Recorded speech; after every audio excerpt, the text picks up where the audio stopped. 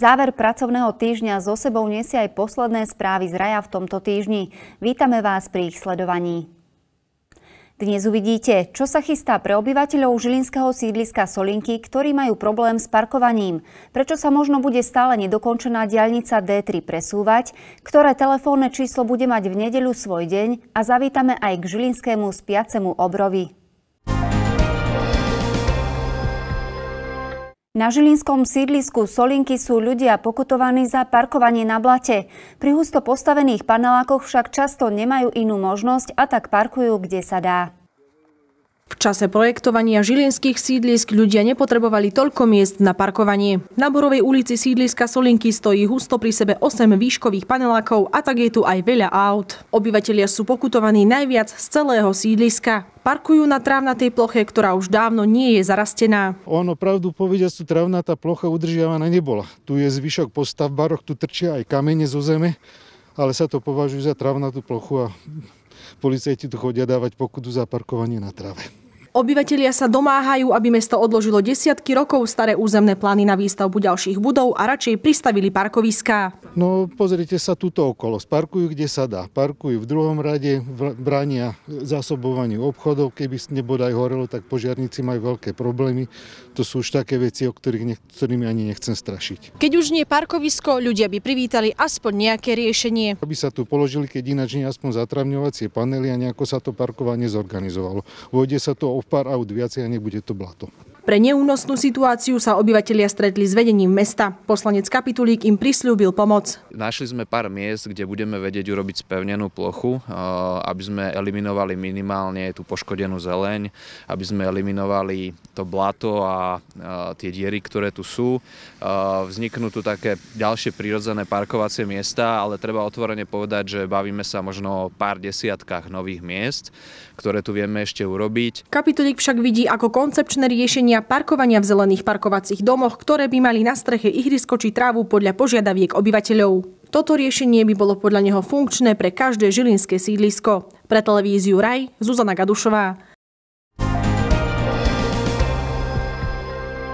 Dialničiari chcú ušetriť a pôvodnú trasu D3 na Kisuciach zmeniť. Prvotný variant uvažuje o výstavbe D3 mimo súčasnej cesty 1 lomené 11 vedúcej ponad Krásno nad Kisucou. Ten druhý s využitím tejto cesty ako súčasti budúcej diaľnice D3 s tým, že regionálna doprava by sa presunula na miestne komunikácie. Petičný výbor sa obáva, že takýto variant by spôsobil ešte väčšie komplikácie. Petičný výbor za dostavbu diaľnice D3 sa opäť stretol. Tentokrát bola na pretrase nová varianta diaľnice na Kisuciach. Iné riešenie má znížiť náklady na výstavbu diaľnice. Novým navrhovaným riešením je také, že súčasná cesta 1 lomeno 11 by sa stala súčasťou D3 a 1 lomeno 11 by sa presunula potom na miestne komunikácie. Nový variant by si ale vyžiadal vysokú daň. Podľa predpokladov by totiž počas výstavby kolabovala doprava v okolitých obciach. Naviac by sa oddialila výstavba o ďalšie dva roky. Petičný výbor s nápadom nesúhlasí. Takéto riešenie by spôsobilo väčšie zaťaženie tých miestnych komunikácií regionálnou dopravou, čo by teda malo asi nepriaznivý vplyv a nepriaznivý odozvu medzi obyvateľmi. Naposledy odznel prísľub premiéra Roberta Fica, že vláda poskytne približne 18 miliónov eur na zabezpečenie projektovej prípravy a výkup pozemkov na nezačatých úsekoch diaľnice D3. O niečo neskôr odprezentovala Národná diaľničná spoločnosť harmonogram prác. Je spracované technicko-ekonomické vyhodnotenie variantov D3 so záberom a bez záberu cesty 1 lomeno 11. Výsledky tejto štúdie budú v pondelok prerokované rokované so zástupcami samozprávy?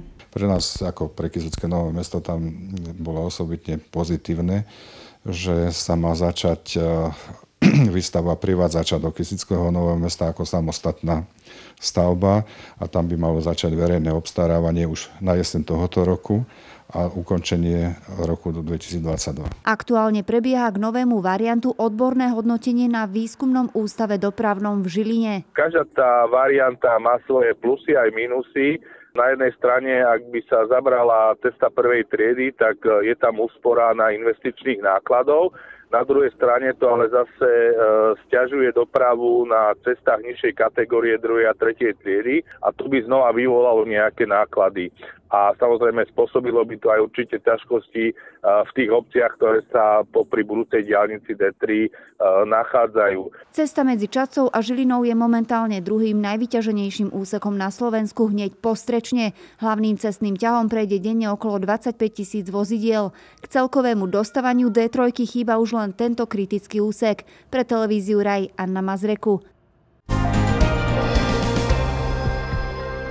Vysoký krvný tlak, vyvrtnuté členky, infarkty. To všetko sú bežné dôvody, kvôli ktorým operátori záchrannej zdravotnej služby posielajú sanitky na výjazd. Nie vždy si však vypočujú skutočné prosby o pomoc. Že by skolabovala nejaký úraz na nič také, hej? Posielame vám sanitku, dobre? Linka 112 je určená na privolanie pomoci hasičov, záchranárov a policajtov. Štáty Európskej únie si jeho dôležitosť symbolicky pripomínajú 11.2.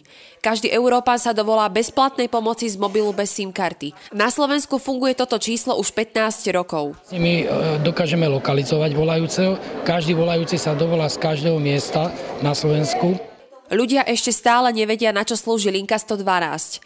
Operátorka musí vyhodnotiť, či je telefonát skutočným volaním o pomoc alebo falošný poplach. Ktorí volajú pre rôzne banality alebo, alebo ani nie pre zdravotné problémy, ale že len potrebujú sa vyrozprávať alebo niekomu vynadať. Chcejú od nás, ja neviem, poviem napríklad odchody autobusov, PIN kódy na telefóny. Tiesňová linka rozšírila svoje služby pre sluchovo postihnutých. Aj očití svetkovia násilných činov môžu potajme privolať pomoc. Takže majú možnosť od 1. januára poslať nás SMS správu. Je to na princípe četovania, čiže všetky informácie potom si operátor vyťaží prostredníctvom SMS správy. Oslava Európskeho dňa jednotného čísla tiesňového volania poskytla osvetu a priniesla študentom budúcim záchranárom nové skúsenosti. Určite áno, lebo lepšie je vidieť a počúvať. Mnoho ľudí nevie, čo má hovoriť, keď sa volá a tu nám ukážu, ako to všetko prebieha. Osudy, ktoré si musia operátorky vypočuť, vstrebávajú po svojom. Pani Křížkovej pomohli až roky zmieriť sa s požiadavkami volajúcich. Zo začiatku som to brala ako si tak viacej osobnejšie, teraz postupom času, ako už dlhšie robím, lebo robím v Trenčine na operačnom stredisku od začiatku, tak e, sa to naučím, ako si zatvorím dvere a neviem, zabudnem. Lucia Naďová, Televízia Raj.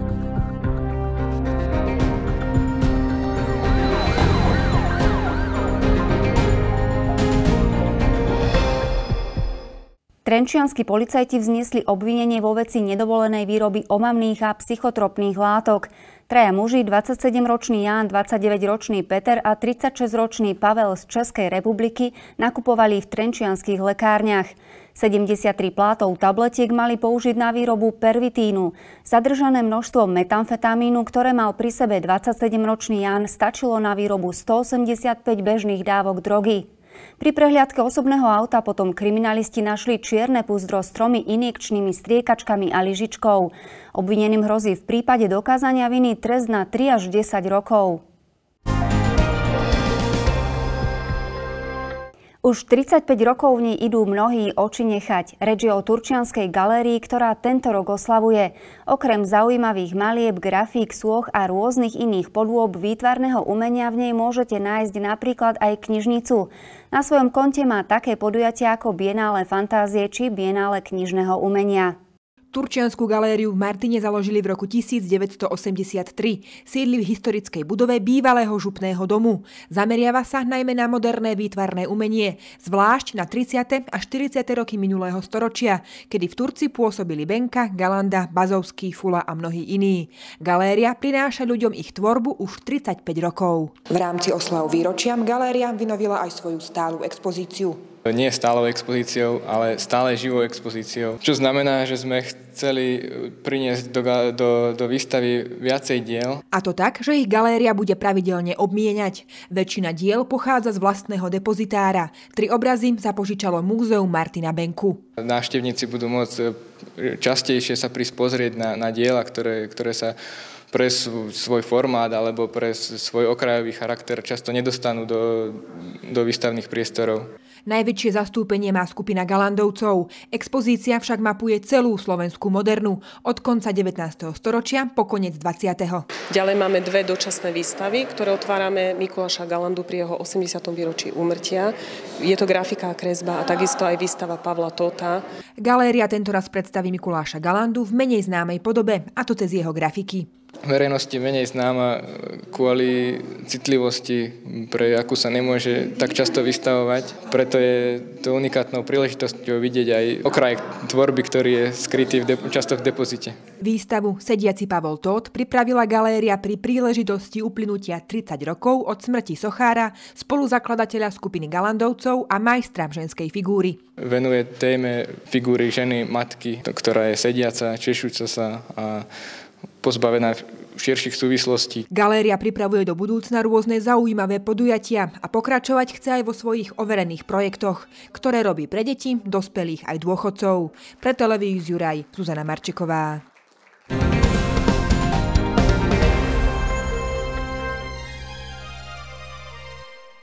Vedenie Dukly Trenčín bude musieť siahnuť do svojej pokladnice.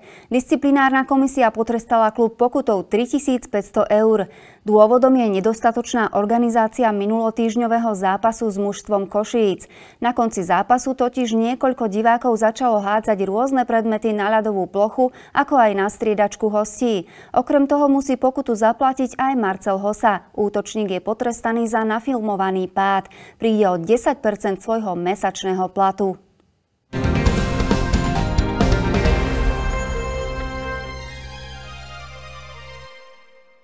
Predvalaní si najlepší žilinský kulturista Andrej Mozolány splnil detský sen a po získaní prokarty sa napriek 40 na krku postavil na molo prestížnej americkej súťaže Mr. Olympia. V ďalšom rozlete reštartovanej kariéry ho však aktuálne brzdí nepríjemné zranenie. Návrat po desiatich rokoch sa Mozoláni mu vydaril a Žilinčan sa stal v závere roka 2016 súčasťou show Mr. Olympia, kde obsadil 16. miesto. O ešte lepší výsledok ho pripravilo zdevastované rameno, s ktorým musel teraz podnôž.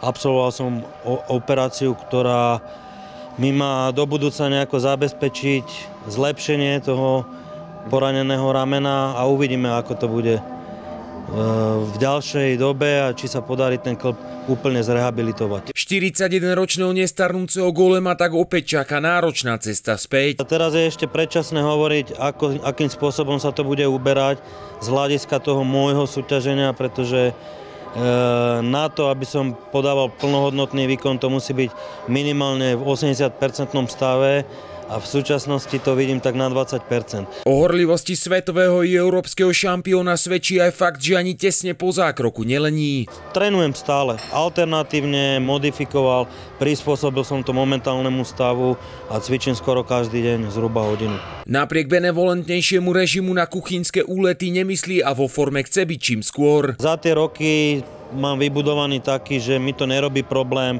Keď si jeden deň niečo dám návyše, tak ďalší deň si to možno uberem. Pre televíziu Raj Tomáš Ďudka.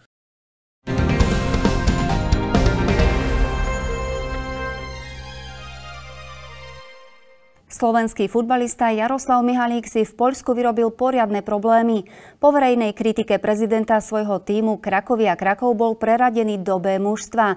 Mihalík, ktorý s veľkým futbalom začínal v Žiline, kritizoval prezidenta aj v minulosti.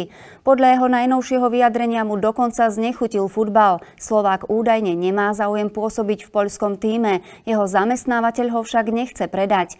V B mužstve si Mihalík zahrá s juniormi a hráčmi, ktorí sa nezmestili do prvého týmu týmu. Po športe nasleduje počasie. Víkend bude polooblačný až oblačný, výnimočne sa vyskytnú aj zrážky. Intenzívnejšie sneženie očakávame najmä v pondelok. Zajtrajšie najvyššie teploty okolo 2, najnižšie nočné okolo mínus 3 stupňov Celzia. Víkend je tu a my vás pozývame, aby ste ho strávili aj v našej spoločnosti. Dnes napríklad s československým filmom Trofej neznámeho strelca z roku 1974. Ďakujeme za pozornosť a tešíme sa na stretnutie v pondelok o 18.45.